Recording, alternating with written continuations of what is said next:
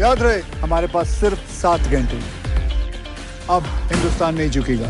हारते बहुत हैं यार ये लोग। इस बार उनकी हार हेलो दोस्तों, जैसे कि आप सभी को है, बॉलीवुड के सुपरस्टार अक्षय कुमार की film Bell Bottom box office पर रिलीज़ हो चुकी है। वहीं आज हम बात करेंगे बेल बॉटम फ़िल्म के बॉक्स ऑफ़िस कलेक्शन के बारे में और आपको बताएँगे Bell Bottom film box office पर हिट होगी या फ्लॉप। तो दोस्तों, जैसे की आप सभी को पता है, बेल बॉटम फ़िल्म में आपको अक्षय कुमार के साथ कई मल्टी स्टार कास्ट नज़र आएँगे। वही फ़िल्म का बजट है सत्तर करोड़ रूपए, लेकिन इस फ़िल्म को इंडियन बॉक्स ऑफ़िस पर रिलीज़ किया गया। और फ़िल्म को इंडियन बॉक्स ऑफ़िस पर लगभग दो से ज़्यादा स्क्रीन मिली, जिस वजह से माना जा रहा था फ़िल्म का कलेक्शन काफ़ी ज़बरदस्त रहेगा।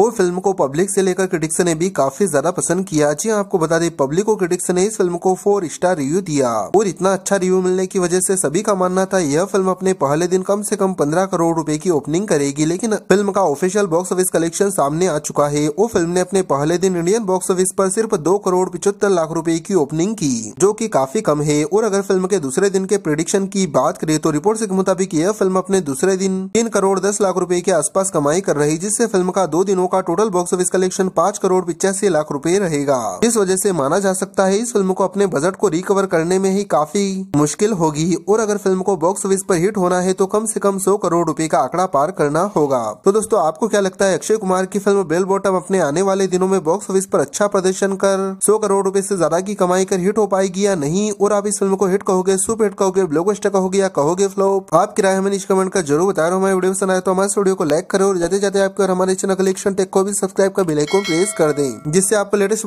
बॉक्स ऑफ़िस कलेक्शन की रिपोर्ट मिलती रहेगी सबसे पहले।